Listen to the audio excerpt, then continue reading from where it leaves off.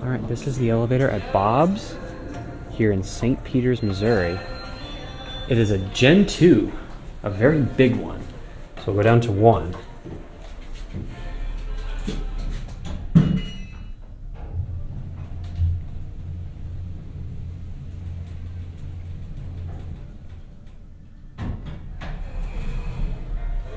And now we'll go back up to two.